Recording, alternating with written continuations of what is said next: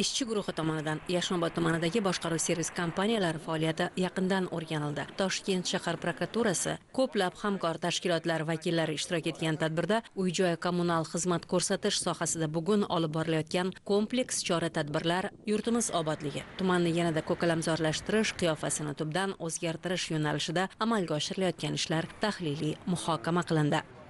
Yashnobod tumanida bir ming bir yuz ellik to'rtta ko'p kvartirali uylar mavjud bo'lib oldin ikki yuz o'n ikkita shirkatimiz bo'lgan. Xalqning eng birinchi e'tirozi shu sifatsiz xizmatda bo'lgan. Hozirgi kunda yashnobod tumanida o'n sakkizta boshqaruv servis kompaniyasi tuzilib yana optimizatsiyaga qo'yib ulardan o'n uchta boshqaruv servis kompaniyalarini tashkil qildik. Hozirgi eng katta e'tiborimiz shu tumanni obodonlashtirishga.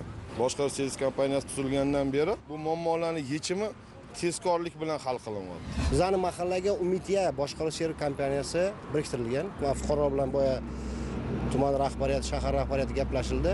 O'tgan yilga nisbatan o'zgarish katta bo'lib turibdi o'zi fuqarolar shunaqa deb turibdida. Chunki boshqaruv kompaniyasini qilayotgan ishiga qarab уже baho beryapti. Xalqni o'zi baho beryapti. Chunki ilgari misol uchun oddiy misol oladigan bo'lsak atrof muhit уже toza bo'lmagan. Obodonlashtirilmagan. Agar chiqindini oladigan bo'lsa o'n tonna o'n besh tonna olib chiqilganda o'sha narsa. Boshqaruv servis kompaniyasi kelgandan keyin ishlar o'zgardi. Tozalik bo'ldi obodonlashtirish bo'lishi bo'ldi. Odamlarni tomidan suv oqardi o'sha narsa oqmaydigan bo'lib qoldi. Xullas kalom xalq mana shu boshqaruv kompaniyasidan minnatdor. Vaqtida to'lov pulini to'laydi. Xalq rozi. Beshariq mahallasi ko'p qavatli uylardan yigirma to'rtta bor. Besh ming oltmish yettita aholi soni yashaydi. Bir ming yetti yuz yigirma to'rtta oilalar yashaydi. Bugungi kunda yashnobod tumanida 1154 ta ko'p qavatli uyga 13 ta boshqaruv servis kompaniyasi xizmat ko'rsatmoqda. Sohaga yangicha yondashuv bois mavjud mahallalarda boshqaruv servis kompaniyalari qo'lga kiritayotgan yutuqlar ko'lami kundan kunga ortib bormoqda. Buning samarasi o'laroq qayerga bormang hududlardagi obodonlashtirish ishlari ko'zga yaqqol tashlanayotganiga amin bo'lasiz. Eng muhimi kundalik tarzda kelib tushayotgan aholi murojaatlari tezkor hamda sifatli hal etilishiga erishilyapti hamkorlikda ishlab chiqilgan yo'l xaritasiga muvofiq qisqa vaqtda joylarda to'rt yuz uch nafar yangi ish o'rinlari yaratildi. Yashnobod tumanida o'n uchta boshqaruv servis kompaniyalari ochilgan. Ushbu boshqaruv servis kompaniyalari aholiga qulay shart sharoit yaratishga ularga xizmat ko'rsatish maqsadida bir ming to'qsonta uy joylarni qabul qilib olgan o'ttiz yetti turdagi xizmat ko'rsatilmoqda. Maxsus texnikalar olingan maxsus jihozlar olingan vujudga kelgan muammolarni tez va sifatli bartaraf etish choralari ko'rilmoqda. O'n ikkita boshqaruv servis kompaniyalari kechayu kunduz aholiga xizmat ko'rsatishga ixtisoslashtirilgan qulay dispetcherlik xizmatlariga ega bo'lishdi. Qolaversa yashnobod tumanidagi boshqaruv servis kompaniyalarida ayni vaqtda ikki yuz qirq yettita zamonaviy moddiy texnik baza shakllantirildi. Ular aholiga xizmat ko'rsatish sifatini yanada yaxshilash uchun muhim ahamiyatga ega. To'qsonta ko'p qavatli uyga xizmat ko'rsatamiz. Tom yopish podizlar remont qilish yerto'lalarni ta'mirlash mana qishki mavsumiga yerto'lalarda kanalizatsiya trubalari suv oqovat trubalari almashtirdi. Ayni damda tom yopish ishlari davom etyapti kuz qish mavsumimizga biz yuz foiz tayyormiz hozir tadbirda namunali deya e'tirof etilayotgan boshqaruv servis kompaniyalarining safini yanada kengaytirish masalalari o'rtaga tashlandi. Natija bermayotganlarning faoliyatini qayta ko'rib chiqish muhokamalar markazida bo'ldi.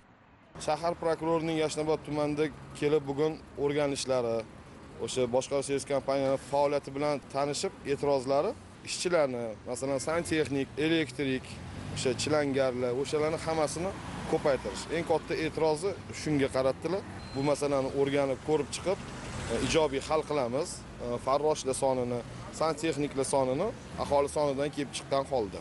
Albatta ko'paytirib ish o'rinlarini ochamiz yana.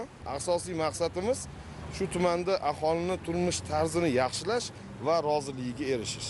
Boshqaruv kompaniyamizda ikki ming yigirma birinchi yil yanvar oyida tashkil etilindi. O'n oltita shirkat yig'ilish bayonnomasi asosan biriktirildi. Ellik ikkita e, ko'p qavatli xonadonlarga xizmat ko'rsatyapmiz. Umumiy maydonimiz o'ttiz yetti gektarda joylashgan.